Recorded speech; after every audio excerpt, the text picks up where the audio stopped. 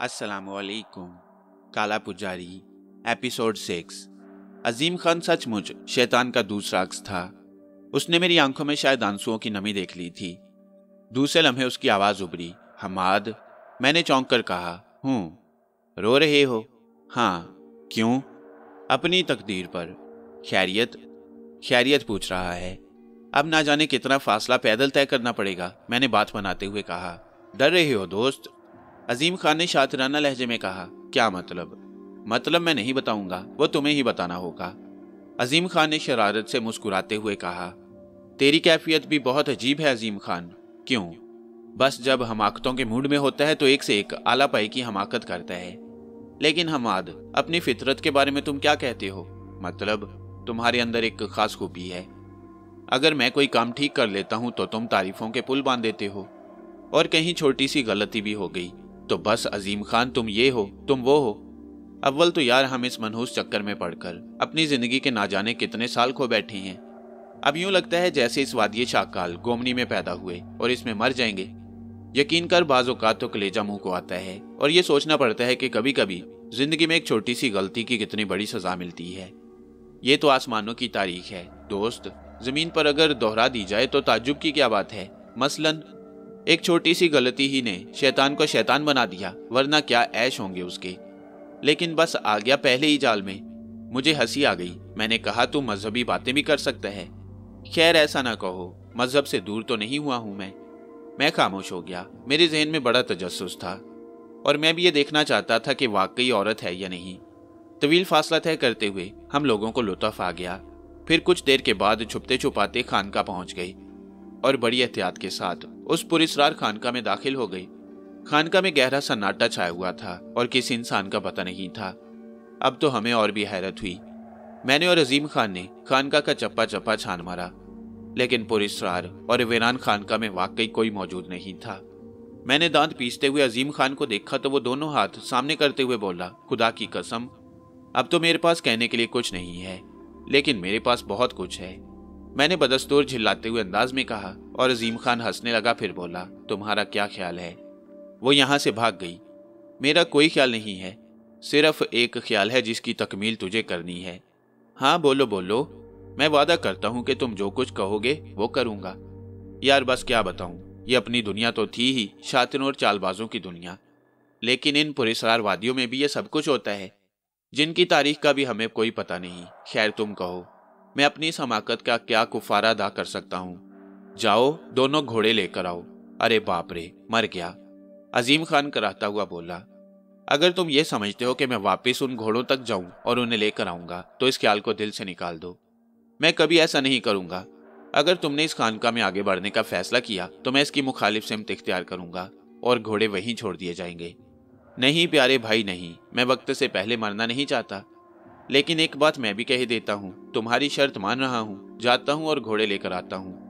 लेकिन जैसा कि मैंने पहले कहा, इस खानका में मैं जरा लंबा क्याम करूँगा। मेरे अंदर अब इन पहाड़ों और जंगलों में भटकने की ताकत नहीं है। चूल्हे में जाओ, मुझे कोई दिलचस्पी नहीं, मैंने जवाब दिया। और अजीम खान मुँह बनाता हुआ वहाँ से चला गया। ये सजा उसके लिए बहुत बेहतर थी। फिर जब वो चला गया तो मैंने सोचा कि बात तो वाकई ठीक है। वो बूढ़ी औरत बकौल अजीम खान के जवान लड़की बेशक नहीं थी। अगर थी तो कहाँ गई? अचानक मुझे उस झील का ख्याल आया, जो यहाँ से थोड़े फासले पर थी, और मैंने दिल में सोचा मुमकिन है बूढ़ी झील के पास हो। चुनाचे मैं बाहर निकल आया, और अजीम खान के बारे में तो मुझे अच्छी तरह अंदाज़ा था कि एक बार इतना फासला तय करने के बाद उसे दोबारा फ़ौरन ही इतना फासला तय करना पड़ेगा। वो बहुत देर में आएगा। ये अलग बात है कि वहाँ से घोड़ों पर बैठकर वो जल्दी वापस आ जाए, लेकिन इस दौरान मैं झील का जायजा ले सकता था। खूबसूरत और हसीन झील दूर तक फैली हुई थी। उसके किनारे दरख्तों से भरे थे और उन दरख्तों पर फूल लगे हुए थे।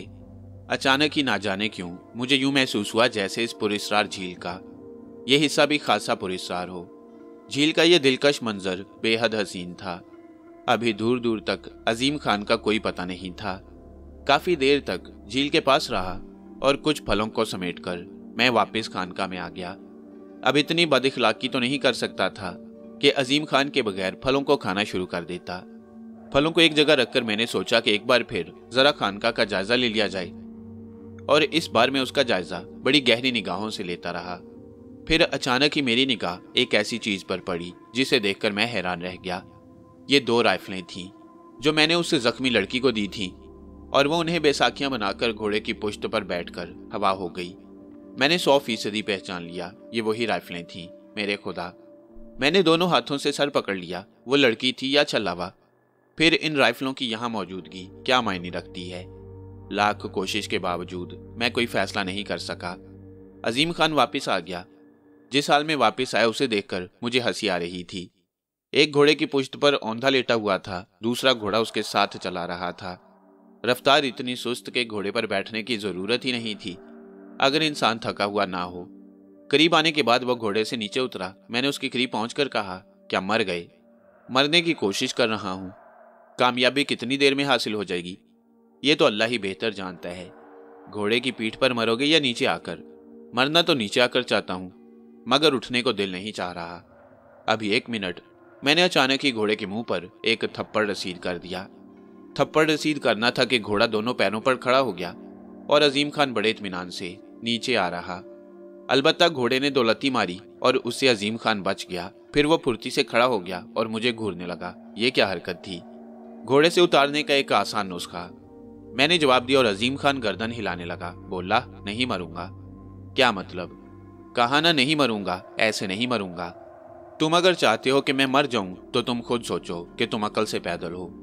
और हम माजी में सफ़र कर रही हैं। हाँ कर रही हैं। तो क्या मैं माजी में मर जाऊँगा? उसने कहा और मैं चौंक कर उसकी सूरत देखने लगा।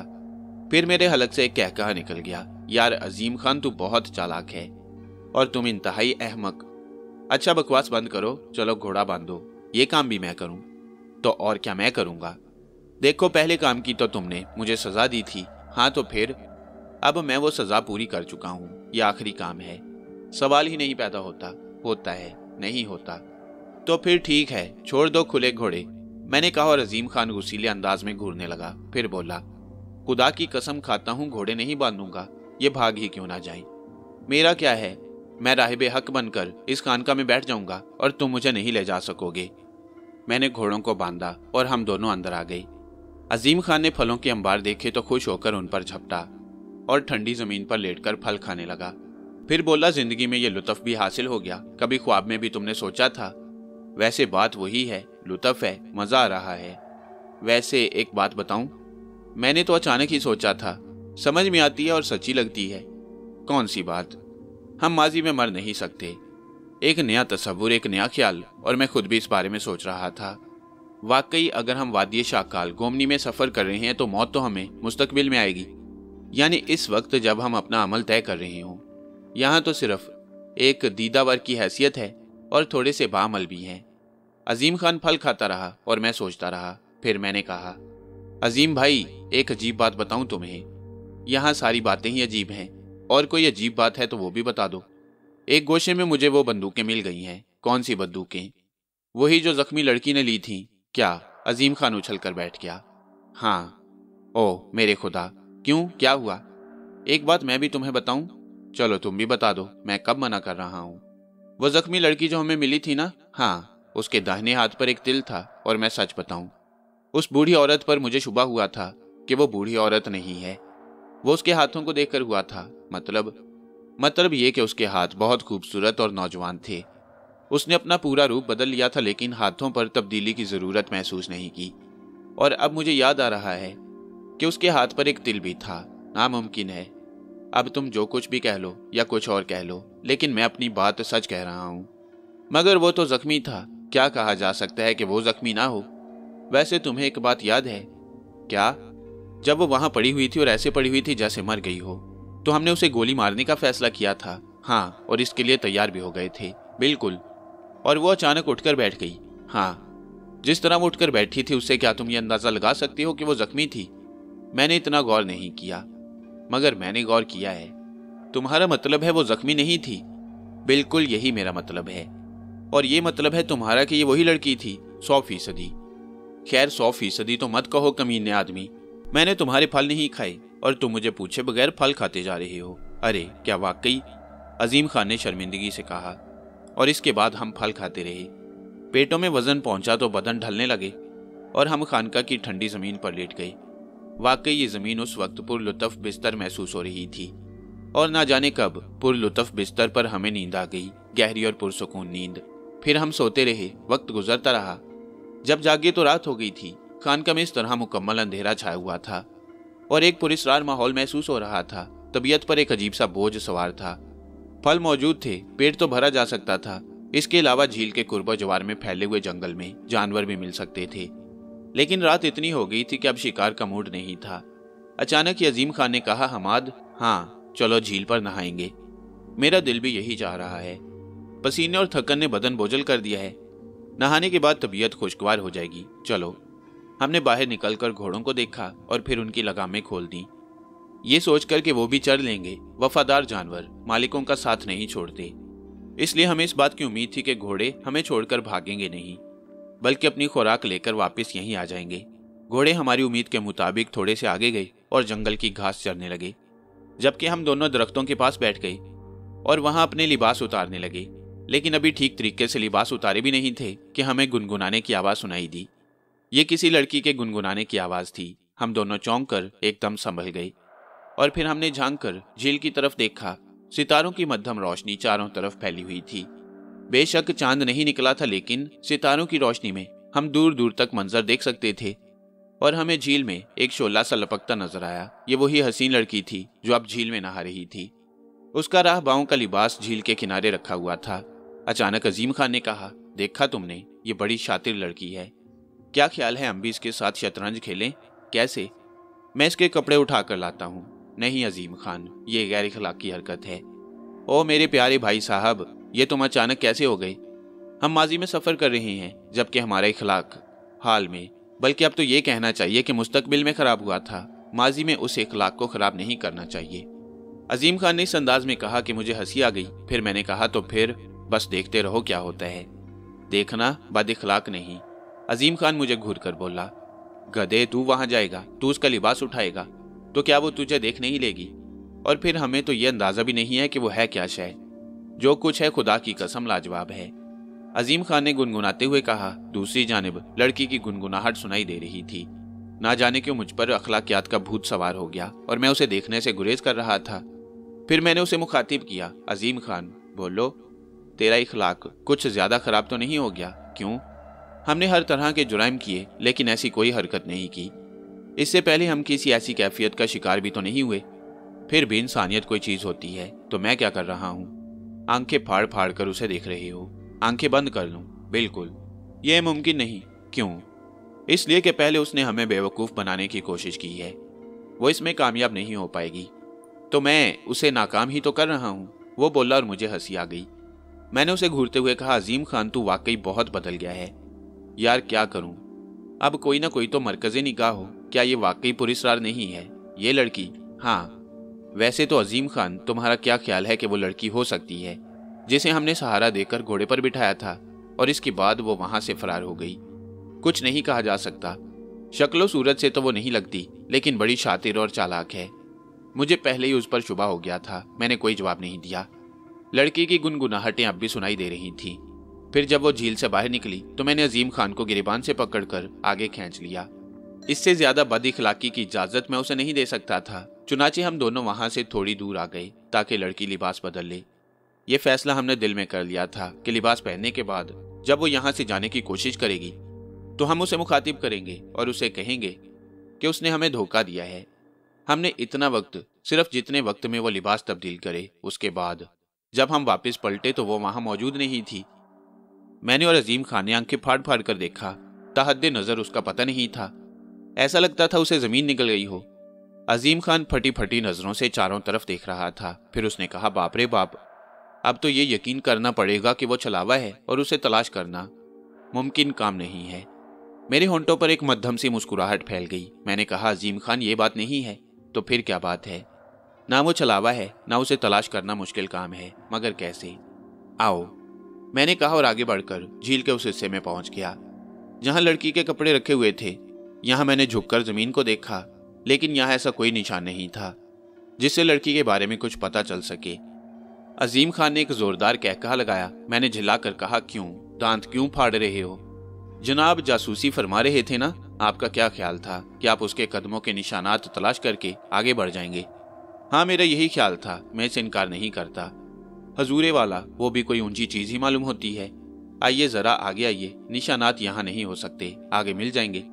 फिर हम दोनों आगे बढ़ने लगे, लेकिन हकीकत में मुझे उस वक्त बड़ी शर्मिंदगी उठानी पड़ी, जब कोई एक निशान भी नहीं मिला, और मैदान साफ़ नज़र आ रहा था।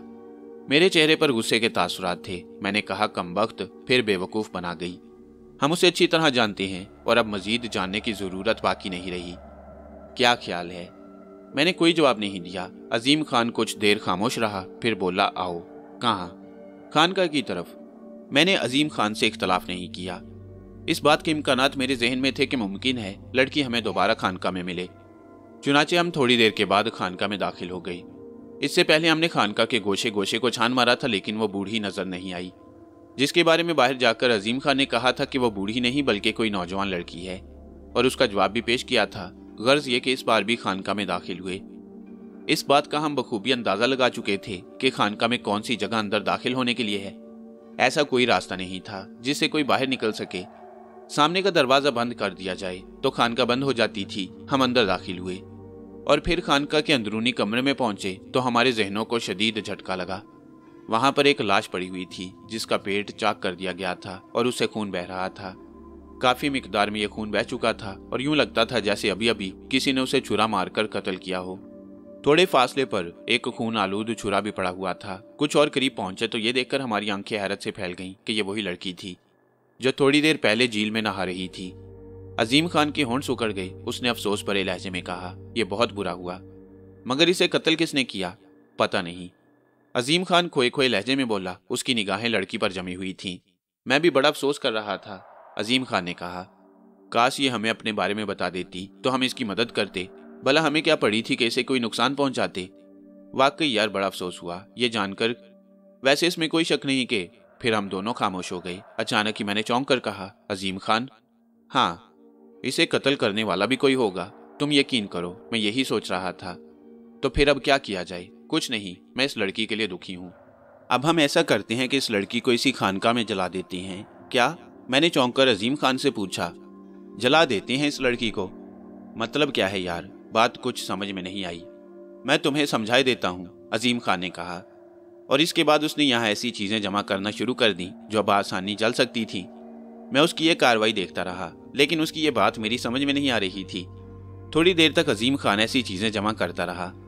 उनको उसने लड़की के गिर्द जमा कर दिया, फिर वाकई उसने उन चीज़ों को आग लगा दी। शोले आहिस्ता आहिस्ता तमाम चीज़ों को अपनी लपेट में लेने लगे। अजीम खान मेरा हाथ पकड़कर बाहर निकल आया। फिर वो खानका से बाहर निकल आया और हम खानका के दरवाजे पर बैठ गए। मैंने अजीम खान से कहा, मेरा ख्याल है, अब तुम लड़की की जगह लेने की कोशिश कर रहे हो। अजीम खान हंस पड़ा, फिर बोला, समझा नहीं, तुम भी अब पुरस्कार हरकतें कर रहे हो। यार, एक बात बताऊँ? हाँ बोलो, तुम बेहद ताकतवर आदमी हो। वाकई दिल से इतराफ कर रहा हूँ कि तुम्हारी जिस्मानी कुवतों का मैं बिल्कुल मुकाबला नहीं कर सकता। लेकिन तुम्हारी खोपड़ी में कुछ नहीं। आप तो बहुत जहीन आदमी हैं। पहले तुम्हें अपने आप से जहीन समझता था, लेकिन अब अपने आप को तुमसे जहीन समझ रहा हूँ, इस बेवकूफ़ी की वजह। वजह सिर्फ़ ये है कि वो लड़की अब भी ज़िंदा है। क्या मतलब? लड़की अब भी ज़िंदा है मतलब वही है जो मैं कह रहा हूँ, और वो लाश लड़की ही की है, और ये लड़की जानते हो कौन है? जी नहीं, मैं नहीं जानता। सौ फ़ीसदी वही लड़की है जो हमें जख्मी हालत में मिली थी। और शायद उस वक्त भी उसे सिर्फ़ घोड़ा दरकार था। बाकी उसने ड्रामा किया था। अजीम खान बहुत ऊँचा उड़ने की कोशिश कर रहे हो। जो होगा, अभी देखते रहना। वो उस वक्त भी लाश नहीं थी, बल्कि उसका जख्म ऐसा ही था, जैसे उस वक्त हमने उसे अपाहिज लड़की की शक्ल में देखा। वो कोई बहुत ही बड़ी छात्रा है अभी अजीम खान ये जुमला अदा करने पाया था कि खानका के दरवाजे से कोई बाहर निकला। दौड़ते कदमों की आवाज़ सुनाई दी और बाहर निकलने वाला हमारे पास पहुंचकर रुक गया। फिर उसकी आवाज़ उपरी रब्बे अजीम तुम्हें गारत करे। मैंने चौंक कर देखा, वही लड़की थी। वाकई, वही लड़की थी, जो हमें जख्मी हालत में मिली। कमर पर दोनों हाथ रखे खड़ी थी। फिर उसने कहा, तुमने खानका को आग लगा दी। मेरा ठिकाना जला दिया तुमने। रूहों का तो कोई ठिकाना नहीं होता, डियर। तुम एक रूह हो, एक भटकी हुई आवारा रूह, जो कहीं और किसी भी जगह अपने आप को मुंतकिल कर सकती है। तुम्हें भला ठिकाने की क्या ज़रूरत है? जंगली हो, जाहिल हो, कमीने भी हो। जानती हो इन गालियों के जवाब में, तुम्हारे इन गुलाबी रुखसारों पर इतने थप्पड़ लगाए जा सकते हैं कि रंग सुरख हो जाए। हाँ हाँ मार लो ना। मारने ही के शौकीन हो ना। तो फिर तुमने ये तमाम हरकतें क्यों की हैं? Good good, very good. अब क्या प्रोग्राम है? बेवकूफ़ बनाने की कोई नई कोशिश? नहीं सुनो, मैं तुमसे ताउन करना चाहती हूँ। करोगे मुझसे ताउन पता नहीं तुम ताउन किसे कहते हो, अजीम खान बोला। लड़की ने घुराई हुई आवाज़ में कहा, आओ मेरे साथ। हम दोनों एक दूसरे के साथ आगे बढ़ गए। खानका के दरवाजे से शोलों की जुबानें बाहर लपक रही थी। लड़की मुझसे चंद कदम आगे चल रही थी और मैं उसका जायजा ले रहा था। दिलकश बदन की मालिक थी। हालाँकि जो लिबास उसने पहना हुआ था वो ऐसा नहीं था कि जिससे उसका जिसम नुमाया हो। लेकिन हवा के आवारा झोंके जब उसके लिबास को उसके जिसम से चिपका देते थे तो उसके बदन की लताफतें नुमाया हो जाती थी। मैं सोच रहा था कि वो कोई बात करे, वो खामोशी से आगे बढ़ रही थी। फिर उसने काफ़ी फासला तय कर लिया और ये फासला तय करने के बाद वो झील के मुखालिफ सिमत पहुँच गई। यहाँ बड़ी बड़ी घूरी चट्टाने बिखरी हुई थीं, जिनके अतराफ में सब्जाजार फैले हुए थे। ये इलाका तो बेशक बड़ा ही खूबसूरत था मैं इंतज़ार करता रहा कि वो रुके फिर अपने बारे में बताए। फिर अचानक उसने पलट कर देखा और कहा मेरा नाम लाइबोना है। फिर वो एकदम चौंक पड़ी और इसने इधर उधर निगाहें दौड़ाते हुए कहा तुम्हारा साथी कहाँ है? उसके इन अल्फाज पर मैं चौंका। मैंने पलट कर हैरानी से पीछे देखा। अजीम खान मौजूद नहीं था। मैं लड़की की तरफ़ आँखें फाड़ने लगा। फिर अचानक ही मैंने दौड़ते हुए कदमों की आवाज़ें सुनी। जिस जगह मैं खड़ा था, यहाँ एक बड़ी सी चट्टान नज़र आ रही थी। मैंने दौड़कर चट्टान की दूसरी तरफ़ देखा। दूसरी जानब कुछ गहराइयाँ थीं, लेकिन ज़्यादा नहीं।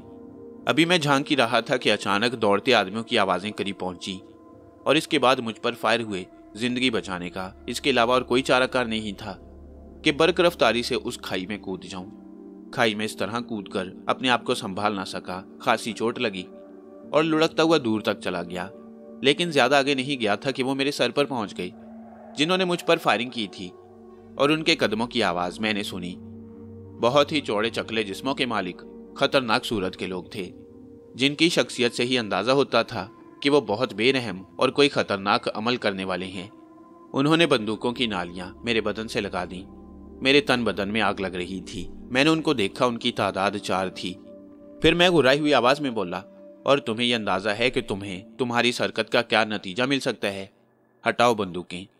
लेकिन मेरे इन अल्फाज पर उनमें से एक ने बंदूक की नाल मेरे पेट में चबोते हुए कहा, अब तुम उठकर खड़े हो जाओ, वरना बदन के सुराख गिने भी नहीं जा सकेंगे। उसके लहजे में जिस कदर गुराहट थी, उसका अंदाज़ा एक लम्हे में मुझे हो गया, और मैं ये सोचने पर मजबूर हो गया कि वो जो कुछ कह रहा है, उसे करने की हिम्मत रखता है। पता नहीं क्यों, मुझे अजीम खान पर भी गुस्सा आ रहा था और अपनी हमाकत पर भी कि इस तरह आसानी से उनके चुंगल में फंस गया। बस इस बात ने जहन पर दीवानगी सवार कर दी। मैंने बंदूक वाले की नाली पकड़ी और दूसरे लम्हे ज़ोर से झटका दिया। शायद कुछ ज़्यादा ही ताकत सरफ हो गई थी कि बंदूक वाला मेरे सर से गुजरकर दूसरी जानब गिरा। बकिया तीन अफराद ने बदहवासी में गोलियाँ चला दी। गोलियाँ चली और मैं बाल बाल बचा। चीनी हुई बंदूक चूँकि मैंने नाल की तरफ़ से पकड़ी हुई थी। मैं उसे सीधा किए बगैर इस्तेमाल नहीं कर सकता था। मैंने ज़मीन पर लौट लगाई और बंदूक को लाठी की तरह घुमाया। उनमें से दो के पाँव बंदूक की लपेट में आ गए और वह बुरी तरह गिरे। लेकिन तीसरे ने उछलकर खुद को बचा लिया और चीखते हुए दोबारा गोली चला दी। मैं होशियार हो चुका था। चुनाचे गोली की आवाज़ के साथ ही मैंने अपनी जगह छोड़ दी। गोली मुझे तो न लग सकी अलबत्ता वो जिसकी बंदूक मेरे हाथ में थी, वो मेरे सर से गुजरकर दूसरी तरफ़ गिरा और खुद को बचाने की कोशिश में था, उस गोली की जद में आ गया। गोली ने उसके सर के चीथड़े उड़ा दिए। मेरी निगाह बेख्तियार उस लड़की की जानब उठ गई, जिसने ये खेल शुरू किया था। पहले तो मेरे जहन में यही सब कुछ था कि मुमकिन है, ये लड़की ही के आदमी हो। यहाँ लाकर इसने हमें अपने चुंगल में फंसाने की कोशिश की हो। लेकिन अब मैंने उसे देखा तो वो अपनी जगह हक्का बक्का खड़ी हुई थी, सब कुछ देख रही थी। मेरे पास अब इसके सिवा और कोई चारा नहीं था कि मैं जान बचाने के लिए दौड़ पड़ूं। चुनाचे मैंने संभल कर एक चट्टान के अकब में छलांग लगा दी। मेरी बंदूक की जद में आकर जो लोग गिरे थे, वो अब संभल कर खड़े हो गए। उन्होंने भागते हुए मुझ पर अंधाधुंध गोलियाँ बरसाना शुरू कर दी। लेकिन अब मैं उनके निशाने पर नहीं आ सकता था। मैंने उनके निशाने से बचने के लिए जिग जैग भागना शुरू कर दिया। फिर मुझे एक बड़ी चट्टान की आड़ मिल गई और उसके पीछे पहुंचकर सबसे पहले मैंने बंदूक सीधी की और फिर अपनी तरफ़ दौड़कर आने वालों में से एक को निशाना बना लिया। अपने एक साथी के गिरते ही उन्हें अक्ल आ गई और फुर्ती से ज़मीन पर लेट गई। अब मैं खूनी निगाहों से उनको देख रहा था, जो सामने से आ रही थी। लेकिन उस वक्त मुझे अपने बाएँ सिमत सरसराहट महसूस हुई और मैं सांप की तरह पलट पड़ा। अगर वह सुरीली आवाज़ मेरे कानों में उभरती तो यकीनी तौर पर वो भी गोली का शिकार हो जाती। ये वही शैतान लड़की थी जिसने अपना नाम लाइबोना बताया। चुनाचे लाइबोना दौड़ती हुई मेरे पास पहुँच गई और उसने हाँपते हुए कहा, इस तरह तुम इनके चुंगल से नहीं निकल सकोगे। मुझे अपनी गिरफ्त में ले लो और अपनी ढाल बना लो। इनसे कहो कि वो अपनी बंदूकें फेंक दें, वरना तुम मुझे मार डालोगे लड़की के अल्फाज ने एक लम्हे के लिए मेरे जहन को अजीब से चक्कर में डाल दिया। फिर मैंने गुर्राई हुई आवाज़ में कहा, कौन हो तुम? खानका की बेटी। वो लोग मेरी ज़िंदगी बचाने के लिए बंदूकें फेंक देंगे। लड़की, तुम फिर कोई नई चाल चल रही हो? देखो, मैं जो कह रही हूँ वो करो, वरना लड़की ने कहा, और इस बार मैंने शिद्दत नफरत से उसके खूबसूरत बाल अपनी मुट्ठी में जकड़ लिए। राइफल का बट अपनी बगल में दबाकर मैंने उन लोगों को देखा, जो ज़मीन पर छिपकली की तरह रींगते हुए इस सिमटा रहे थे। चुनाचे मैंने बंदूक सीधी कर ली और उनमें से एक का निशाना लेने लगा। लेकिन ये भूल गया कि शैतान लड़की कोई अमल कर सकती है। उसी वक्त मेरे सर पर क्यामत टूट पड़ी। ऐसी जोरदार जरब लगी थी मेरे सर के पिछले हिस्से में कि बयान नहीं कर सकता। चकराई हुई आँखों से मैंने लड़की की जानब देखा, जो हाथ में पकड़े हुए पत्थर से। मेरे सर पर दूसरी जरब लगाने की कोशिश कर रही थी। फिर दूसरी जरब लगी और बंदूक मेरे हाथ से नीचे गिर पड़ी। इसके बाद मुझे कोई होश नहीं रहा। और यह भी नहीं कह सकता कि मुझे होश कब आया। अलबत्ता जब होश आया तो तेज धूप और गर्म हवा मेरे इर्द गिर्द फैली हुई थी। मैंने आँखें खोलकर ऊपर निगाह उठाई। सूरज मेरे सर पर चमक रहा था और उसकी तपिश और तेज रोशनी मुझे तीर की तरह अपनी आँखों में घुसती हुई महसूस हो रही थी। मैंने आँखें बंद करके गर्दन झटकी तो सर की पुष्ट के जख्म ने एहतजाज किया और मैंने बौखलाकर आँखें खोल दी। अब मेरी निगाहों के जाविये बदल गए और मेरे सामने कोई लंबी लंबी चीज़ नज़र आ रही थी। मैंने गौर से देखा तो मुझे अंदाज़ा हो गया कि ये लकड़ी के मोटे मोटे तने हैं। दरख्तों के तनों को जोड़ जोड़ कर पिंजरे बनाए गए थे और ऐसे ही एक पिंजरे में मुझे कैद कर दिया गया। लकड़ी के तने चारों तरफ़ से मेरे गिर्द अहाता किए हुए थे। छत भी उन्हीं तनों की बनी हुई थी। धूप से बचाव का कोई इंतज़ाम नहीं था। दरवाजे को लकड़ी के मोटे हिस्से से बंद किया गया। मैंने हैरान निगाहों से चारों तरफ़ देखा। मेरे कुर्बो जवार में ऐसे बहुत से पिंजरे बने हुए थे और उनमें से कुछ पिंजरों में बेशुमार अफराद कैद नज़र आ रहे थे। मैं हैरान निगाहों से चारों तरफ़ देखता रहा। ना जाने में किसका कैदी था। रफ्ता रफ्ता हवास जागते रहे और गुजरे हुए लम्हात मुझे याद आ रहे थे। मैंने आँखें फाड़ फाड़ कर उन पिंजरों में अजीम खान को तलाश किया। लेकिन अजीम खान नज़र नहीं आ रहा था। मुझे अपनी बेबसी पर गुस्सा आने लगा। मुझसे बेहतर तो अजीम खान ही रहा, जिसने सूरत हाल की नज़ाकत को समझकर उसी वक्त अपने बचाव का इंतज़ाम कर लिया, जब मैं लड़की के साथ आगे जा रहा था। अजीम खान आसानी से उनके चुंगल से निकल गया। अब इस बात में कोई शक नहीं था कि लड़की ने मेरे सर पर हमला करके उन लोगों को मुझसे निजात दिलाई, जो सौ फ़ीसदी उसी के साथ थे। मेरे हलक से घुराई हुई आवाज़ निकली, कसम खाता हूँ अगर तुम दोबारा नज़र आ गई तो मैं तेरे सर के तमाम बाल साफ़ कर दूँगा। तेरी नाक और कान काट दूँगा और उसके बाद देखूँगा कि तू कितनी जहीन है। लेकिन इस तरह खुद पर गुस्सा करते रहने से मुझे कोई फ़ायदा नहीं था। यहाँ पर तवज्जो देने वाला कोई मौजूद नहीं था। अलबत्ता मेरी आँखें उन लोगों को देख रही थी, जो मुख्तसर से लिबासों में मलबूस, हड्डियों की मालाएँ पहने, हाथों में भाले खंजर और कुल्हाड़ियाँ लटकाए, इधर से उधर आ जा रहे थे।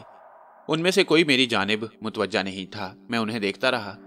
और दूर दूर तक फैले हुए पिंजरों में, उन कैदियों को भी, जो बेचारे तपती हुई धूप और सूरज की किरणों में मर रहे थे। ये बदहाल लोग न जाने कौन थे, कुछ समझ में नहीं आ रहा था। ज़्यादा देर नहीं गुजरी थी कि कुछ लोगों का गोल मुझे अपनी तरफ़ आता हुआ महसूस हुआ। यकीनन ये मेरी ही सिमत आ रहे थे। सबसे आगे एक बिफरा हुआ देव था। इतने चौड़े चकले बदन का मालिक, गोश्त से सजा हुआ कि देखकर खौफ आए। वो पागलों की तरह आगे बढ़ता आ रहा था और चीखता चिल्लाता भी जा रहा था। लेकिन उसके मुँह से निकलने वाली आवाज़ मेरी समझ में नहीं आ रही थी। थोड़े ही फासले पर मैंने कुछ घुड़सवारों को देखा। मैं ये अंदाज़ा नहीं लगा सकता था कि ये लोग बिफरे हुए मेरी जानब क्यों आ रही हैं। फिर सबसे पहले चौड़ा शख्स पिंजरे के करीब पहुँचा और उसने दरख्तों के तनों में कलाइयाँ घुसेड़ कर हाथ आगे बढ़ाते हुए गुर्राई हुई आवाज़ में कहा, ओ खंजीर, बाहर निकल, मैं तेरी हड्डियाँ चबाने के लिए बेचैन हूँ। और रब अजीम की कसम, मैं तुझे नहीं छोड़ूँगा। तूने मेरे भाई को हलाक किया है। मैं तेरी आँखों के हल्कों में उंगलियाँ डालकर सबसे पहले उन्हें रोशनी से महरूम करूँगा, फिर तेरे बदन की चुंदियाँ उड़ा दूँगा और तेरी इन हड्डियों को बाजू में दबोच कर सुरमा बना दूँगा। ज़िंदा नहीं छोड़ूँगा मैं तुझे। वो दीवानों की तरह चीख रहा था और मैं उसका जायजा ले रहा था। मैंने कहा, बेवकूफ़, कौन था तेरा भाई और कब मेरे हाथों मारा गया? बाहर निकल, मैं तुम्हें सब कुछ बताऊँगा। आ तो सही जरा मेरे चुंगल में। जवाब में मैं हंस पड़ा। मैंने कहा, मुझे बाहर तू ही निकाल सकता है। तू कोशिश कर, ताकि तेरी ख्वाहिश पूरी हो जाए। इसी दौरान घुड़सवार पिंजरे के पास पहुँच गए और उन्हें देखकर मजमा के अफराद पीछे हो गए। ये लोग भी मुकामी बाशिंदे ही मालूम होते थे, लेकिन उसी मुख्तसर लिबास और वैशी फितरत के। समझ में नहीं आ रहा था कि कौन लोग हैं, उनके हुलियों से वहशत टपकती थी। नंग धड़ंग रहने वाले ये लोग तहजीब से दूर मालूम होते थे। फिर एक दराज का आदमी घोड़े से उतरा और उसने गुर्राई हुई आवाज़ में कहा क्या तू पागल हो गया है जरोना? मौत आ गई है तेरी। मुझसे रबता करने की बजाय, तू मेरे पास आया है, तू जानता है तू क्या बकवास कर रहा है। जिसको जोरोना कहा गया था, वो वापस पलटा और घुटनों के बल बैठकर दोनों हाथ ऊपर उठाते हुए बोला, मुझे मुआफ कर दे, सरदार। मैं अपने आप पर काबू नहीं पा सका। इसे मुझे दे दे। इसने मेरी ज़िंदगी का सहारा छीन लिया है। इसने मेरे इकलौते भाई को कत्ल कर दिया है। मैं तनहा रह गया हूँ। मैं इसे ज़िंदा नहीं छोड़ूँगा। अगर मैंने इसे अपने हाथों से हलाक ना किया तो मैं अपने आप को हलाक कर लूँगा। देख, सरदार। मैंने हमेशा तेरी गुलामी की है, तेरी खिदमत की है। इसे मुझे दे दे। इस आदमी को मुझे दे दे। इस आदमी की कीमत जानता है तू, उस शख्स ने कहा। सारी ज़िंदगी तेरी गुलामी करता रहूँगा। बस इसे मेरे हवाले कर दे। पागल हो रहा है तू। मैं तेरे दुख में बराबर का शरीक हूँ। लेकिन ऐसा ना कर। पहले भी तू एक आदमी को अपने हाथों से फरार कर चुका है। तूने नशे में उस शख्स को यहाँ से भागने का मौका फ्राहम किया। मैंने तुझे माफ़ कर दिया। इस बार आदमी को मेरे हाथों से जाया ना कर, मैं तुझे हुक्म देता हूँ कि तू अपना ये इरादा तर्क कर दे। नहीं, सरदार, ऐसा ना कह। मैं तेरी ये बात नहीं मान सकूँगा। अगर तू ऐसा नहीं कर सकता तो मेरे सीने में गोली उतार दे। लेकिन मुझे इस कसम से महरूम ना कर, जो मैंने अपने भाई के कातिल से बदला लेने के लिए खाई है जुरोना ने कहा। यह पागल हो गया है। देखो, इसे समझाओ। जिस शख्स को सरदार कहकर मुखातिब किया गया था, उसने दूसरों से कहा, हमने इसे बहुत समझाया है, सरदार। ये जानता है कि तुम कभी इसकी इजाज़त नहीं दोगे, लेकिन फिर भी नहीं मानता। कहता है, अगर ऐसा ना हुआ तो ये खुदकुशी कर देगा। ये मेरा नुकसान कर रहा है। खैर, अगर ये ऐसा ही चाहता है तो यही सही। ये मेरा बहुत अच्छा साथी है। मैं इसकी बात माने बगैर नहीं रह सकता। ठीक है, जो होगा देखा जाएगा। और इसके बाद वो शख्स खुशी से खड़ा हो गया। सरदार ने इजाज़त दे दी। तो फिर भला दूसरे लोगों को क्या परेशानी होती? कवि हैकल आदमी। मुझे खून आशाम निगाहों से देखता हुआ मेरी जाने पड़ रहा था। एक आदमी ने आगे बढ़कर पिंजरे का ताला खोल दिया, जिसमें मुझे कैद किया गया था। फिर उसकी आवाज़ दोबारा आई। बाहर निकल कुत्ते, बाहर निकल, और देख, मौत कैसी दिलकश होती है। जैसे ही मैं पिंजरे से बाहर निकला, वो वैशी मुझ पर टूट पड़ा। गोश्त का ये पहाड़ मेरी जाने बड़ा ही था कि मैंने अपनी जगह छोड़ दी। और वो आगे बढ़कर पूरी कुवत से, सतूनों वाले पिंजरे से टकराया। लेकिन फ़ौरन ही सांप की तरह पलट पड़ा। मैं दो कदम पीछे हट गया। इसके साथ ही साथ वहाँ मौजूद लोगों ने दिलचस्पी से मुझे देखते हुए जगह छोड़ दी। यहाँ तक कि वो शख्स जिसे सरदार कहकर मुखातिब किया गया था, पीछे हट गया। मैंने उससे कहा, मैं नहीं जानता कि ये अपने भाई के कत्ल का इल्ज़ाम मुझ पर क्यों लगा रहा है। वो कौन था और क्या मैंने उसे कत्ल किया, या नहीं, मैं नहीं जानता। लेकिन ये एक दिलचस्प बात है कि एक ऐसे शख्स को कातिल कहकर मुझसे बदला लिया जा रहा है, जिसे ये भी नहीं मालूम कि उसने किसे कत्ल किया। मैं ये जुमला अदा कर भी नहीं पाया था कि जोरोना पूरी कुवत से एक बार फिर मेरे पास पहुँचा और उसने मेरे सीने पर टक्कर मारने की कोशिश की, लेकिन इस बार मैंने उसकी गर्दन पर हाथ जमाया और उसे बिल्कुल पीछे हटा दिया। वो एक बार फिर पीछे निकल गया और इस बार उसने पूरी कुवत से तीसरा हमला किया और फिर जब यह तीसरा हमला भी नाकाम रहा तो उसने एक तरफ़ रखा हुआ कुल्हाड़ा उठा लिया, जो उसके साथी ने शायद उसी के लिए रखा था। कुल्हाड़ी की मुझे परवाह नहीं थी, लेकिन मैं ये भी देख रहा था कि उसके कुछ साथी आतिशी हथियारों से मुसल्ला हैं। देव कामत शख्स ने कुल्हाड़ा उठाया और उसे घुमाता हुआ मेरी जाने बढ़ने लगा। फिर जैसे ही मेरे करीब पहुँचा, मैंने पूरी कुवत से उसके पेट पर लात मारी और इसके फ़ौरन बाद घूमकर एक भरपूर लात उसकी गर्दन पर रसीद की और वो नीचे जा गिरा। लेकिन इसके साथ ही उठकर उसने अपने साथी से पिस्तौल मांगा और उसके साथी ने फ़ौरन ही अपनी पिस्तौल उसके हाथ में थमा दी। मेरे लिए इसके अलावा कोई चाराकार नहीं था कि अब मैं उस पर मार्शल आर्ट्स के दाव इस्तेमाल करूँ। एक तेज चीख के साथ मैंने दोनों हाथ सीधे किए और फिर ज़मीन पर बैठकर लौट लगाई और एक पाँव ऊपर उठा दिया। पिस्तौल उसके हाथ से निकलकर दूर जा गिरा। एक आदमी ने आगे बढ़कर पिस्तौल उठाया और मेरा निशाना बांधा तो सरदार ने उसीली आवाज़ में कहा, नहीं, पहली बात तो ये कि कोई दूसरा मदाखलत नहीं करेगा। दूसरी बात यह कि पिस्तौल इस्तेमाल नहीं होगा। खबरदार, अब इसे पिस्तौल ना दिया जाए। वो शख्स एकदम पीछे हट गया, लेकिन जरोना ने एक बार फिर एक छोटी कुल्हाड़ी उठा ली मुझे यूँ महसूस हो रहा था जैसे अब वो संभल गया हो। ये दो तीन बार नाकाम हो जाने के बाद मेरी फुर्ती और मुस्तादी देखकर उसे अंदाज़ा हो गया कि सूरत हाल मुख्तलिफ़ है। लेकिन मुझे यह अंदाज़ा हो गया था कि अगर इस ताकतवर आदमी के साथ फुर्ती से निपटा जाए तो अपनी ताकत का लोहा भी मनवाया जा सकता है। लेकिन चालाकी से काम लेकर और जो ही इस बार उसने कुल्हाड़ी घुमाकर मुझ पर वार किया, मैंने उसकी कलाई पकड़ ली और इसके बाद फुर्ती से उसे मोड़कर एक गुंसा उसके मुँह पर रसीद किया। वो उछलकर नीचे गिरा और लोगों के मुँह से आवाज़ें निकल गईं।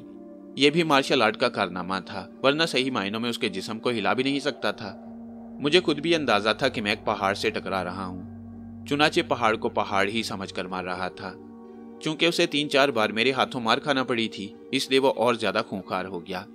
इस बार जबकि नीचे गिरा तो एक पत्थर उसके मुँह पर लगा, उसकी पेशानी फट गई। खून भी बहता हुआ उसके पूरे चेहरे पर बिखर गया, और उसकी आँखें भी इस खून से मुतासिर हुई थीं। जिसकी वजह से उसे बार बार आँखें खोलनी और बंद करनी पड़ रही थी। इस बार उसने बहुत ही तूफानी अंदाज में हाथ बढ़ाकर मुझ पर कुल्हाड़ी से वार करने की कोशिश की, लेकिन मैं पीछे हट गया और जैसे ही वो मुझ पर झुका झुक कर आगे आया, मैंने भरपूर तरीके से अपने पाँव की ठोकर उसके मुँह पर मारी। मेरे पाँव को भी मज़ा ही आ गया, लेकिन उसका मुँह भी खून से भर गया। और अब मेरे लिए ये ज़रूरी हो गया कि मैं उसे उठने ना दूँ। आखिर कब तक मैं उसके हमलों से बच सकूँगा? कहीं ऐसा ना हो कि मज़ाक ही मज़ाक में खोपड़ी तिड़क जाए। या गर्दन कंधों का साथ छोड़ जाए। चुनाचे इस बार मैंने उस पर इस तरह हमला किया। मैंने उस कुल्हाड़ी वाले हाथ को ज़मीन पर लगाया और उसके सीने पर घुटना रखकर मज़बूत घुंसों की बारिश उसके चेहरे पर करने लगा। वह मुझे खुद पर से धकेलने की फ़िक्र में था, लेकिन मेरी कोशिशों ने उसकी कुत मुदाफियत खत्म कर दी। और फिर मैंने उसके कुल्हाड़ी वाले हाथ पर जरब लगाई और उसका पंजा खुल गया। मैंने कुल्हाड़ी को ठोकर मारी और जैसे ही वो उछली मैंने उसे लपक लिया। अब मैं उसके सीने पर पाँव रखकर खड़ा हो गया और कुल्हाड़ी मेरे हाथ में दबी हुई थी। कुछ लोगों ने आँखें बंद कर ली और इस बात पर यकीन करके आँखें खोलने का इंतज़ार करने लगे कि मरने वाले के हलक से आखिरी चीख निकले। मैंने कुल्हाड़ी को बुलंद किया, किसी ने कोई मदाखलत नहीं की। कुल्हाड़ी आहिस्ता आहिस्ता नीचे झुकी और फिर इसके बाद मैं उसके करीब से हट गया। सब लोग हैरानी से मुझे देखने लगे। मैंने लोगों से मुखातिब होकर कहा, मैं नहीं जानता कि अपने भाई के कत्ल का इल्ज़ाम ये मुझ पर क्यों लगा रहा है। जबकि मैंने किसी को कत्ल नहीं किया और यह भी नहीं जानता कि इसका भाई कौन है या कौन था। लेकिन मैं इस पर फतह हासिल करके भी इसे कत्ल नहीं करना चाहता, क्योंकि मेरी इसे कोई दुश्मनी नहीं। अगर ये बेवकूफ़ी कर रहा है तो मैं ये बेवकूफ़ी नहीं करना चाहता। सरदार ने उसे देखा और मेरी तरफ़ मुतवजा हो गया, फिर बोला, इसे बंद कर दो। और इसके बाद वापस अपने घोड़े पर सवार हुआ और अपने साथियों के हमरा वापस चला गया। जैसे ही वो निगाहों से उजल हुआ, जो लोग आसपास बिखरे हुए थे, उस आदमी को संभालने लगे। और उनमें से कुछ ने मुझे कटहरे में धकेल दिया। चूँकि मैं सूरत हाल से कोई आगाही नहीं रखता था, इसलिए अभी कोई मदाखलत भी नहीं करना चाहता था। मैं खामोशी से कटहरे में पहुँच गया, लेकिन जो हंगामा हुआ था, ये मेरी समझ से बाहर था, और मैं नहीं जानता था कि मुझे क्या करना है।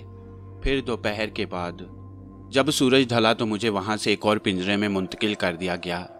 मुझे सूरत हाल से बड़ी परेशानी थी, खास तौर से इसलिए कि अजीम खान मेरे साथ नहीं था। उससे ज़्यादा गुस्सा मुझे उस शैतान लड़की पर था। इस दौरान मैं ये जायजा ले रहा था कि अगर मैं लोगों के चुंगल से फरार होने की कोशिश करूँ और अपने दो चार मुहाफिजों को मारकर यहाँ से निकल जाऊँ तो मुनासिब नहीं होगा। अलबत्त ये जगह जहाँ मुझे कैद किया गया था, पहाड़ों में बना हुआ एक गार था, जो काफ़ी अजीम शान था। और यहाँ तक लाने के लिए मुझे एक लंबी सुरंग से गुजारा गया। फिर मैं एक सलाखों वाले दरवाजे से अंदर दाखिल कर दिया गया। इस गार के अलावा एक और गार भी मौजूद था जिसमें कई कैदी ज़मीन पर पड़े हुए सो रहे थे।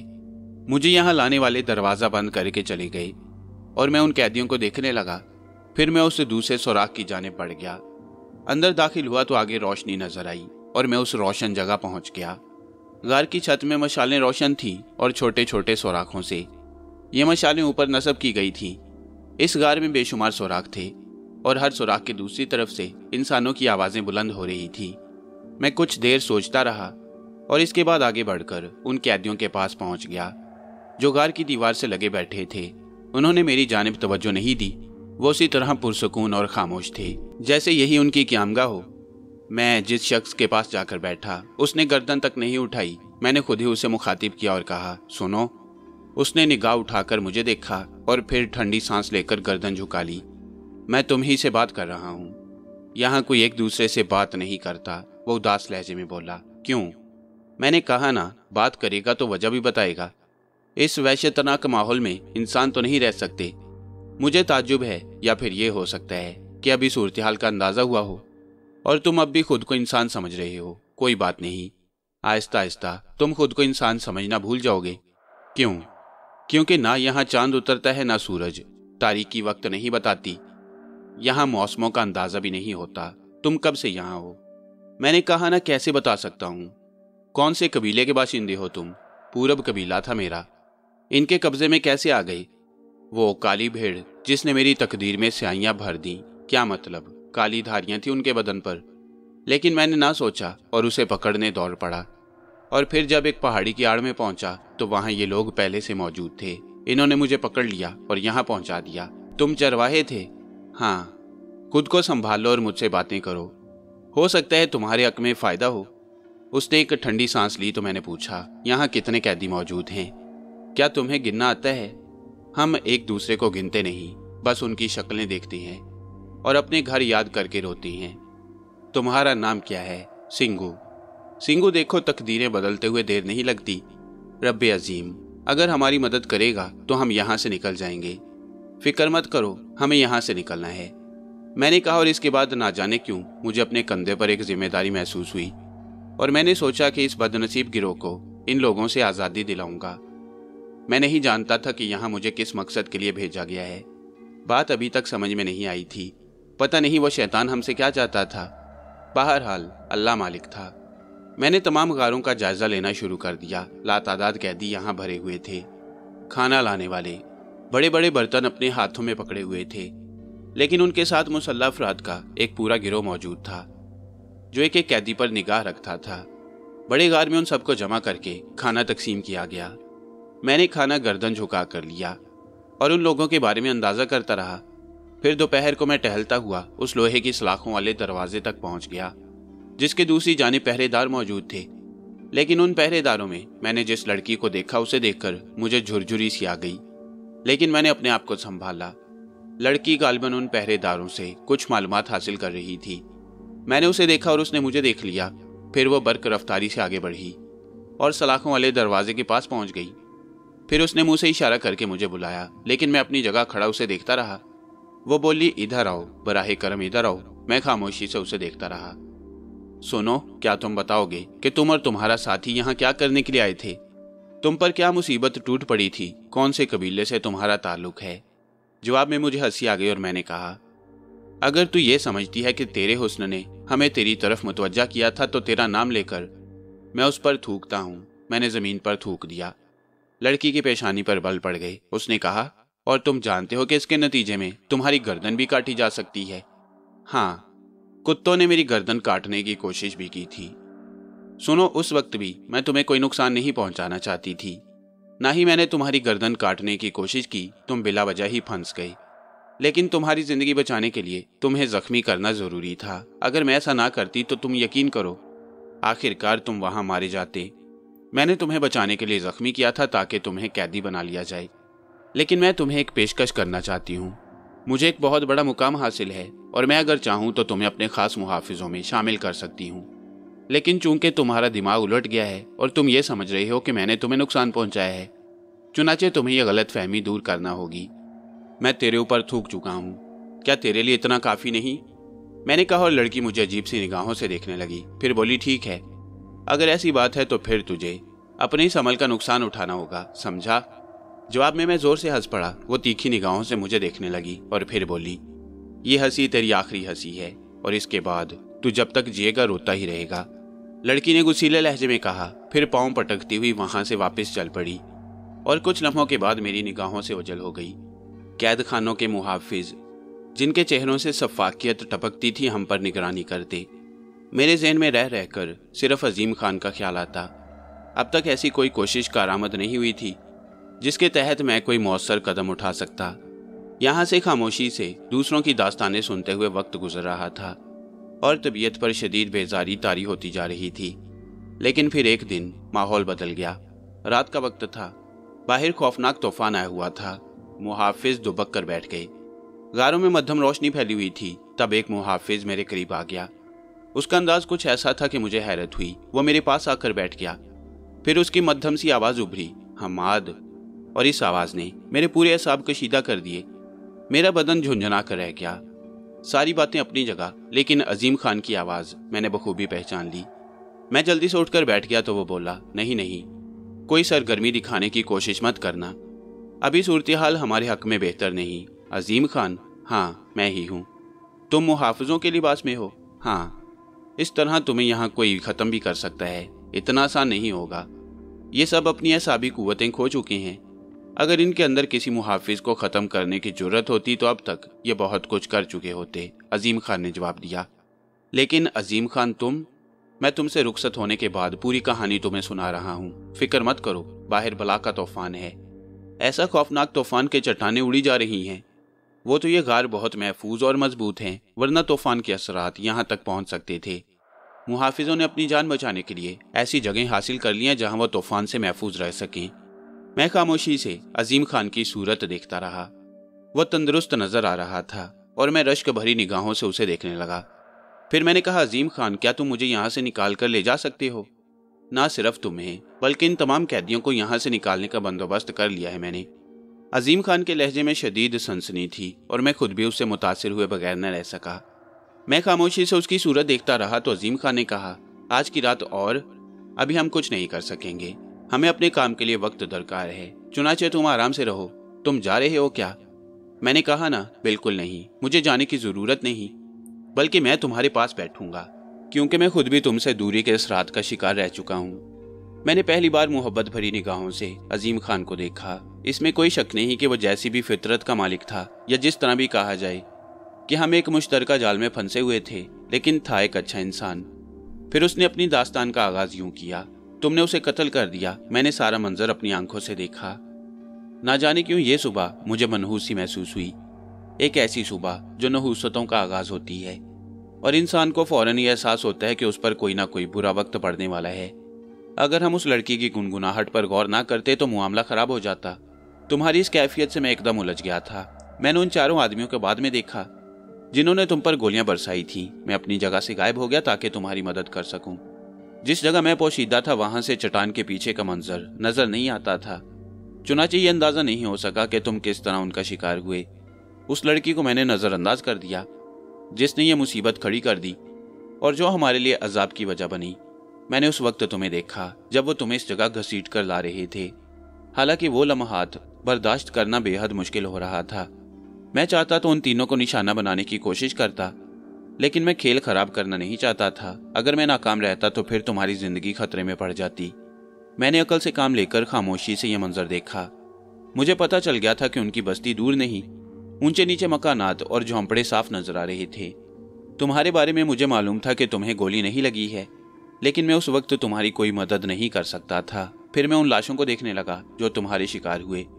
लेकिन उनमें से एक अपने ही साथी का निशाना बना, उसके बाद वो लोग तुम्हें लेकर काफ़ी दूर निकल गई तो मैं फुर्ती से अपनी जगह से दूर, उसी सिमत दौड़ने लगा, जहाँ वो दोनों लाशें पड़ी थी। मैंने उन दोनों की सूरतें देखी, एक के सर पर गोली लगी थी, इसलिए उसके सर के चीथड़े उड़ गए थे। और चेहरा बुरी तरह बिगड़ गया। दूसरे को वो गोली लगी थी जो तुमने चलाई, और ये सीने में ऐन दिल के मुकाम पर लगी, इसलिए वो दुश्मन एक लम्हा जाया किए बगैर हलाक हो गया। मैंने उसे बगौर देखा, उसकी शक्ल का तजिया किया, और फिर मैंने उसका लिबास उसके बदन से उतार लिया। चूँकि ये लोग एक ही तरह का लिबास पहने हुए थे, इससे मुझे यह अंदाज़ा हो गया कि ये लिबास किसी खास अहमियत के हामिल हैं। मैंने उसके लिबास उतार कर खुद अपने जिसम पर पहना, और उसके जिसम से पहने हुए खून को अपने चेहरे पर जगह जगह मान लिया। इस काम से फारिग होने के बाद मैंने उसकी लाश को उठा लिया और उसे लिए हुए एक सिमत चल पड़ा। मुझे किसी ऐसी मुनासिब जगह की तलाश थी, जहाँ उस लाश को ज़ाय किया जा सके, और फिर मैंने उसकी लाश उस झील में डबो दी। मैंने लाश के साथ बड़े बड़े पत्थर बाँध दिए और लाश गहराइयों में बैठ गई। इस काम से फारिग होकर वापस पलटा और तेज रफ्तारी से दौड़ता हुआ उस जगह पहुँच गया, जहाँ थोड़ी देर कबल वो लाश पड़ी हुई थी। उसका खून अब भी ज़मीन पर पड़ा हुआ था। चुनाचे मैंने एक छोटा सा पत्थर उठाया और अपनी पेशानी पर रगड़ दिया। मेरी पेशानी की खाल जगह जगह से उधड़ गई और मेरे मसनू खून में असली खून भी शामिल हो गया। हालाँकि जख्म लगाना आसान काम नहीं था।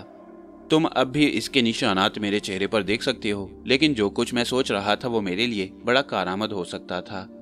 जिस शख्स का मैंने रूप धारा था, उस शख्स का नाम मुझे नहीं मालूम था। लेकिन यह खतरा तो मोल लेना ही था। मैं अपनी जगह बैठा रहा। मुझे मालूम था कि तुम्हें ले जाने वाले वापस ज़रूर आएँगे और इन लाशों को यहाँ से उठाकर ले जाने की कोशिश ज़रूर करेंगे। मैं उनका इंतज़ार कर रहा था और थोड़ी देर के बाद मैंने दूर से उन लोगों को आते हुए देखा। चुनाचे में इतमान से औंधे मुँह ज़मीन पर लेट गया। थोड़ी देर के बाद वो लोग मेरे नज़दीक पहुँच गए। वो चीख रहे थे, चिल्ला रहे थे। फिर मैंने किसी के रोने की आवाज़ सुनी। कोई धाड़े मार मार कर रो रहा था। खासी भोंडी आवाज़ थी, लेकिन उस वक्त मैं किसी को देख नहीं सकता था। उन्होंने दूसरे के साथ मुझे भी सीधा किया और फिर उनमें से कोई चीखा, ये ज़िंदा है? इसके सर में सिर्फ़ जख्म है। उठाओ इसे, जल्दी से ले चलो, ताकि इसका इलाज किया जा सके। फिर कुछ लोगों ने मुझे हाथों में उठा लिया। मेरा काम पूरा हो गया था। मैंने दिल ही दिल में दुआ की कि महबूद करीम, ये लोग मुझे पहचानने ना पाए। लेकिन मैं खतरात की आगोश में जा रहा था। वो लोग मुझे उठाए हुए कुशादा झोंपड़े में दाखिल हो गए। मैंने आँखों में झेरी पैदा करके झोंपड़े का माहौल देखा और मुझे एहसास हो गया कि ये कोई हकीम या वैद है। उसकी दाढ़ी सफ़ेद नकूश, भद्दे और चेहरा बेहद खौफनाक था। उसने मेरा जख्म देखा, फिर बुड़बुड़ाया। नहीं, जख्म तो गहरा नहीं है, फिर यह बेहोशी कैसी है? किसी ने जवाब नहीं दिया। बूढ़े ने मेरे जख्म को साफ़ करके उस पर कुछ दवाएँ लगाई। फिर हरे रंग के कुछ पत्ते मेरे चेहरे पर रखे और इसके बाद कोई चीज़ उस पर चिपका दी। उनमें से किसी ने पूछा, क्या हम इसे इसके झोंपड़े में पहुँचा दें? हाँ अगर कोई और बात हो तो मेरे पास ले आना। एक बार फिर मुझे उठाया गया और एक दूसरे झोंपड़े में पहुँचा दिया गया। यहाँ उन्होंने मुझे लिटा दिया और वो सब बाहर निकल गए। झोंपड़े को खाली देखकर मेरी जान में जान आई और मैंने महसूस किया कि अभी तक मुझे पहचाना नहीं गया। फिर भी मेरे कान बाहर लगे हुए थे। किसी ने कहा, शेराल का ख्याल रखना। कहीं ऐसा ना हो कि इसे कोई और तकलीफ़ हो जाए। मुझे पता चल गया कि मेरा नाम शेराल है। दूसरे ने कहा, बेचारा जख्मी हो गया। इसकी बदनसीबी। इसे पहाड़ों में लाई थी। लेकिन अब इसका ख्याल रखना ज़रूरी है। मैं उन लोगों की बातों पर गौर कर रहा था। उनके दूसरे जुमले मेरी समझ में नहीं आ सके। किसकी बदनसीबी उसे कहाँ से पहाड़ों में लाई? क्या वो कहीं दूर से आया था, मगर कहाँ से? लेकिन सवाल का जवाब हासिल करना ज़रूरी नहीं था। अलबत्ता मैं सोच रहा था कि कोई तो मेरा जानने वाला ज़रूर होगा। यहाँ तक तो आ गया हूँ और अभी तक किसी को शक नहीं हुआ। लेकिन शायद ज़्यादा देर तक मैं इन लोगों को बेवकूफ़ ना बना सकूँ। दो तीन घंटे गुजर गए, कोई मेरी झोंपड़ी में नहीं आया, फिर शाम हो गई। शाम के बाद आकर किसी ने मेरे झोंपड़े में रोशनी की। मैं बिस्तर पर लेटा उसे देखता रहा। मुझे एक लम्हे के अंदर अंदाज़ा हो गया था कि वो कोई औरत है। रोशनी जलाकर उसने मुझे देखा और फिर मेरे पास आ गई। मैंने बेहोश पड़े रहने की अदाकारी नहीं की। औरत ने मुझे देखा और बोली, किसी चीज़ की ज़रूरत है। पहले तो मैं ये समझा कि वो मेरी शनासा होगी। लेकिन उसके चेहरे की सर्द मैरी और उसका लहजा बता रहा था कि वो शहराल को नहीं जानती।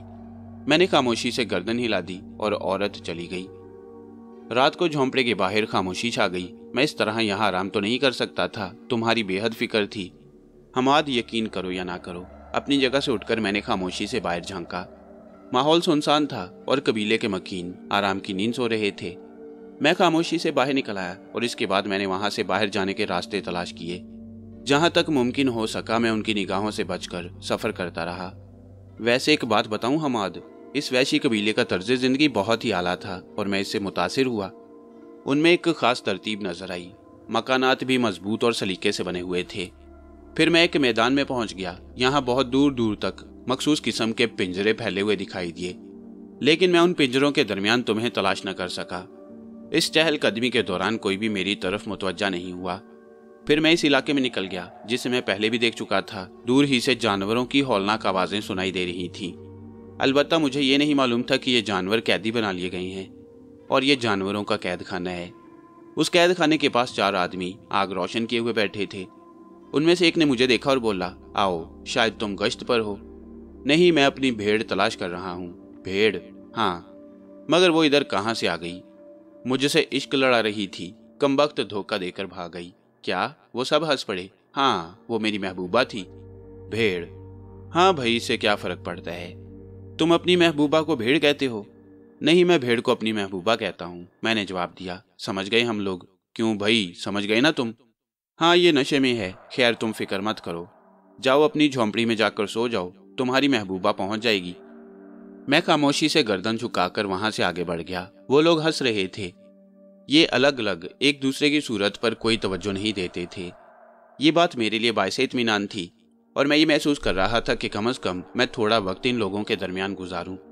मैं वापस अपने झोंपड़े में नहीं आया, बल्कि एक और जगह बैठकर हालात के बारे में सोचने लगा। एक बार फिर मैंने पिंजरों का जायजा लेने का फैसला किया, लेकिन इस बार मैं बड़े मोहतात अंदाज में काम करना चाहता था। गो मैं उनके करीब नहीं पहुँच सका, लेकिन मैंने ये देख लिया कि मेरी तो के मुताबिक वहाँ वैसी जानवर बंद हैं और शायद इंसान भी।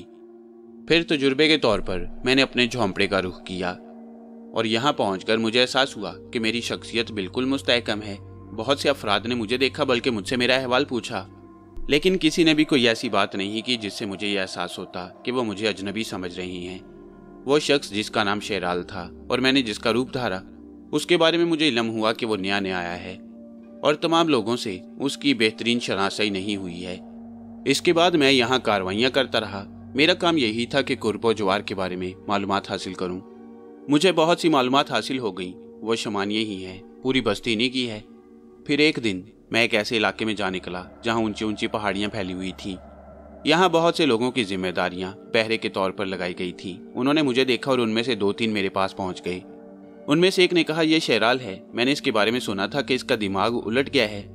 शेराल, तुम इस तरफ़ कैसे आए? मेरी महबूबा भाग गई है। मैंने जवाब दिया, बैठो बैठो।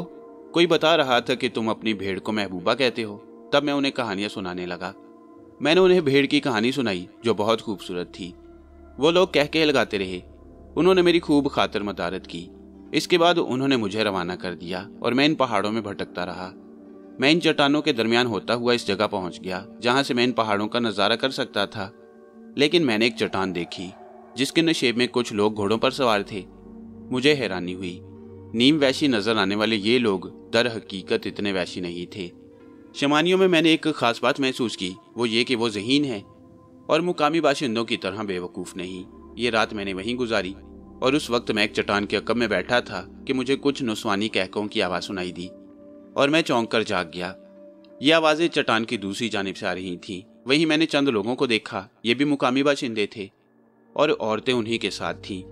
वो चट्टानों के नशेब में एक छोटे से चश्मे के पानी से मुँह धो रहे थे। मैं उन्हें देखता रहा। फिर मैंने उनका पीछा किया। वो उस जगह पहुँच गई जहाँ जानवरों के कटहरे थे। और उनके साथ मैंने उनके टहरों को देखा। उनमें शेर चीते, भेड़िए जैसे खौफनाक और खूंखार जानवर बंद थे। उनकी तादाद भी इतनी थी कि मैं हैरान रह गया। इसके बाद तुम ये समझ लो कि मेरे दिमाग ने काम करना शुरू कर दिया और मैं अपने तौर पर एक मंसूबे पर चल पड़ा। मैं शेराल के झोंपड़े में ही रह रहा था और मुझे कोई मुश्किल पेश नहीं आई। फिर उस शाम मैं एक कावा खाने में बैठकर कावा पी रहा था कि मेरी निगाह उस शख्स पर पड़ी। जिसे मैंने उन जानवरों के पिंजरे के पास देखा था। ये एक चौड़े शानों वाला आदमी था। अपने चेहरे से बड़ा परेशान नज़र आ रहा था। मैं उसके सामने पहुँच गया और उसने मुझे गर्दन उठाकर देखा, फिर गर्दन झुका ली। फिर मैं उसके करीब बैठकर बोला, तुम कुछ परेशान लगते हो बुज़ुर्ग। और ताजुब की बात यह है कि तुम यहाँ तनहा हो। बूढ़े ने एक गहरी सांस ली और गर्दन झुका ली। तुम यहाँ कावा पीने आए हो और कावा पियो और यहाँ से चले जाओ। जी नहीं चाहता। और फिर तुम्हारी शख्सियत में एक ऐसी बात है बुज़ुर्ग। जो मेरी आँखों में आँसू ला रही है। क्या? बूढ़ा चौंक कर बोला हाँ तुम्हारी शक्ल मेरे बाप से मिलती जुलती है। क्या वाकई? इस बार मैंने बूढ़े के चेहरे पर दिलचस्पी के आसार देखे। हाँ और इसी वजह से मैं यहाँ आ गया हूँ। तुम्हारा बाप कहाँ रहता है? आसमानों में। क्या मतलब? वो मर चुका है। ओहो, कब? बहुत अरसा हुआ। मुझे अफसोस है। लेकिन मैं तुम्हें देखकर पागल हो गया हूँ, मोहतरम बुज़ुर्ग। क्यों? इसलिए कि तुम मेरे बाप के हमशक्ल हो। तो इससे क्या फ़र्क पड़ता है? तुम्हें देखकर मुझे अपना बाप बहुत याद आता है। मुझे तुमसे हमदर्दी है। अगर तुम मुझे इजाज़त दो तो मैं तुम्हें देख लिया करूँ। ये तो कोई बात नहीं। मैं उन जानवरों की निगरानी करता हूँ, जो उन पिंजरों में हैं। पिंजरों में बंद जानवर कितने दुखी लगती हैं। क्या उन्हें देखकर तुम्हें अफसोस नहीं होता? वो खूंखार दरिंदे हैं। क्या मतलब? हर ज़िंदगी ज़िंदगी होती है। ठीक है, मैं मानता हूँ। लेकिन ये मेरी ज़िम्मेदारी है। बुज़ुर्ग मैं ये समझता हूँ कि इंसान को इंसान ही रहना चाहिए, दरिंदगी नहीं करनी चाहिए, इसी में मेरी ज़िंदगी है। ये सिर्फ़ तुम्हारा ख्याल है, तुम नहीं जानते कि मैं इनका गुलाम हूँ, इससे कोई फ़र्क नहीं पड़ता। हर शख्स अपनी ज़िंदगी का गुलाम है, जो कहना चाहते हो, वो बहुत अजीब है। शायद तुम उसे कबूल ना कर सको, मैं कोशिश करूँगा। उन जानवरों को आज़ाद कर दो, आज़ाद कर दो? हाँ मगर कैसे? पिंजरों के दरवाजे खोल दो, ये बहुत खतरनाक होगा, लेकिन क्यों? आखिर वो वैसी जानवर हैं और यहाँ बेशुमार अफराद मौजूद हैं। और फिर क्या तुम समझते हो, खुद मेरी ज़िंदगी खतरे में नहीं पड़ जाएगी? इसकी एक तरकीब है, क्या? पिंजरों की छत पर चढ़कर दरवाजे खोल दो। वो निकलकर भागेंगे, कोई तुम्हारी तरफ़ मुतवजा नहीं होगा। लेकिन तुमसे एक बात कहूँ, शायद तुम यकीन ना करो। कहो यह आसमान का इशारा है, मुझे ख्वाब में बताया गया था कि तुम मुझे यहाँ मिलोगे और बहुत सी जिंदगियों के लिए निजात का रास्ता बनोगे। बूढ़े के चेहरे पर अजीब से आसार फैल गई। फिर उसने कहा, अगर ऐसा है तो मैं देवताओं की खुशी के लिए ये सब कुछ करूँगा। और डियर हमाद, ऐसा आज रात होने वाला है। क्या? मैं अजीम खान की बात सुनकर चौंक पड़ा। हाँ आज रात। अजीम खान के होंठों पर एक पुरस्कार मुस्कुराहट फैल गई। और अजीम खान का कहना बिल्कुल दुरुस्त साबित हुआ। वो अपने मामलात में मुझसे आगे निकल गया था। उसने जो कुछ कहा वो कर दिखाया। वो हमारे साथ ही था और उसने बड़ी सनसनीखेज फिजा पैदा कर दी। आधी रात का वक्त था कि अचानक शेरों के धाड़ने की आवाज़ सुनाई दी, और इसके साथ ही इंसानी चीखें, फिर ये आवाज़ बढ़ गई, और इंसानी चीखें आसमान से बातें करने लगी। लोग चीख रहे थे, बचाओ बचाओ, ये जानवर खुल गए। मैंने अजीम खान की तरफ़ देखा, उसके चेहरे पर एक मुस्कुराहट फैली हुई थी।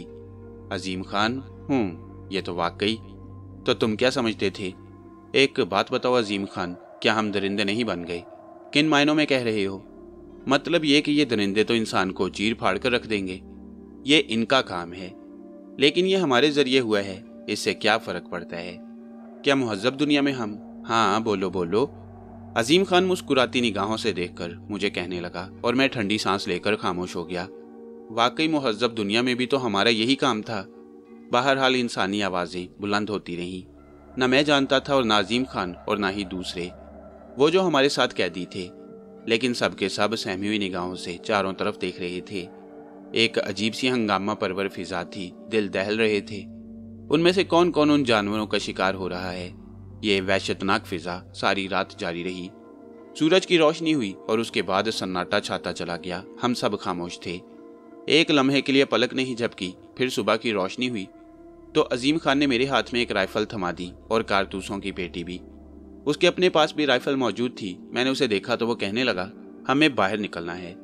रात तो गुजार ली, दिन तो यहाँ नहीं गुजारना। हमारी ये मंजिल नहीं है, आगे चलना होगा। लेकिन अजीम खान दूसरे लोग, तुम्हारा क्या ख्याल है? क्या पिंजरों में बंद कैदी उन दरिंदों का शिकार नहीं हुए होंगे? अजीम खान ने ताजुब से मुझे देखा और बोला हमाद क्या बात है? तुम इन दिनों मुझे कुछ ज़्यादा ही परेशान नज़र आ रहे हो। और तुम मुझे इंतहाई गैर संजीदा क्यों? मैं एक संजीदा सवाल कर रहा हूँ। लेकिन वो अकल से खाली है। क्यों? इसलिए के कबीले के लोग तो आज़ाद पंछियों की मानंद बाहर की ज़िंदगी गुजार रहे थे और कैदी पिंजरों में थे। कैदियों को अगर खुद ही पिंजरों से बाहर निकलकर जानवरों से खेलने का शौक हुआ तो अलग बात है। वरना वो तो पिंजरों में है और जानवर पिंजरों में नहीं हो सकते।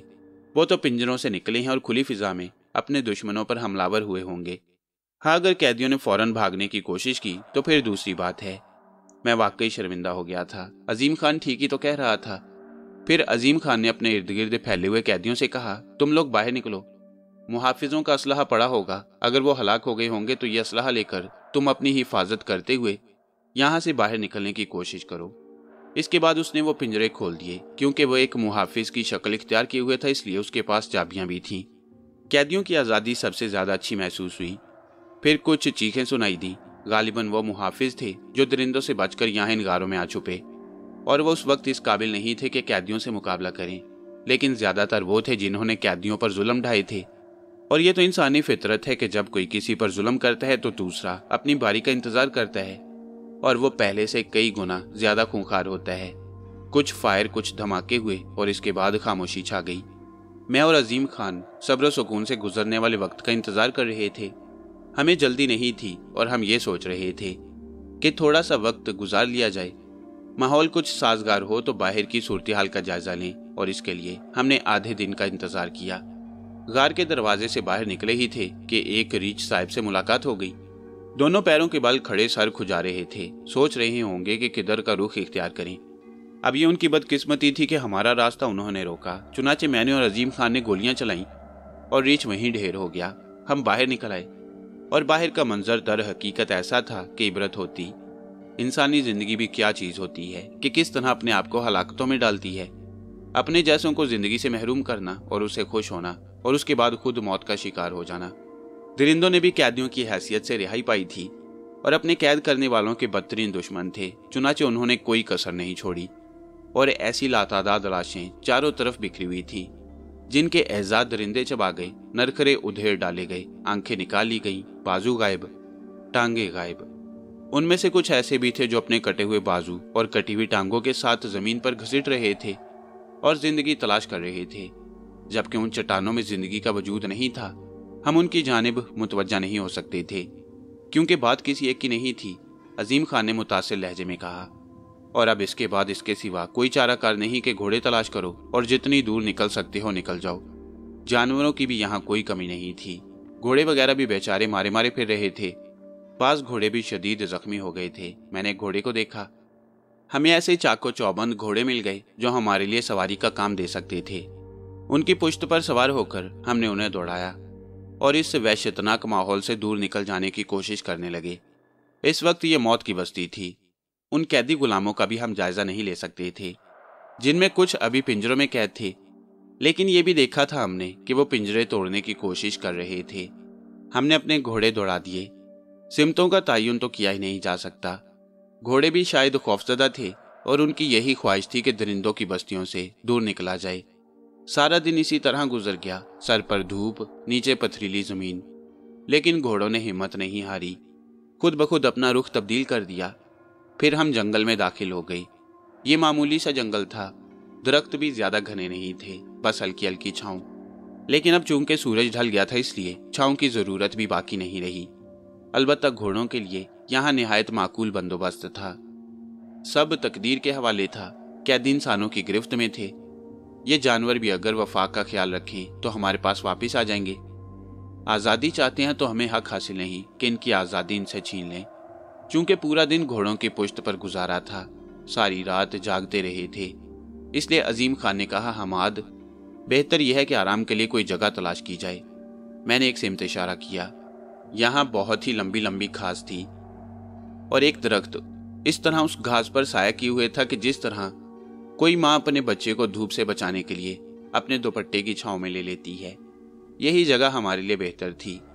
अजीम खान पर तो कुछ ऐसी नींद तारी थी कि लेटते ही सो गया, लेकिन मुझे शदीद भूख लग रही थी। मैं लेटकर सोचने लगा कि खाने पीने का यहाँ क्या बंदोबस्त है। दूर दूर तक निगाहें दौड़ा ली, ऐसे मौकों पर नारियल के दरख्त कुदरत का सबसे बड़ा अतिया होते हैं। और सहराओं में मौजूद नखलिस्तान इंसानी जिंदगियों को खुशी की खबर सुनाते हैं। लेकिन यहाँ वो सब कुछ नहीं था। मैंने निगाहें दौड़ा ली थी। फिर मैं भी अजीम खान की तरह सोने की कोशिश करने लगा। नींद बहुत से एहसास को सुला देती है। मैं भी सो गया।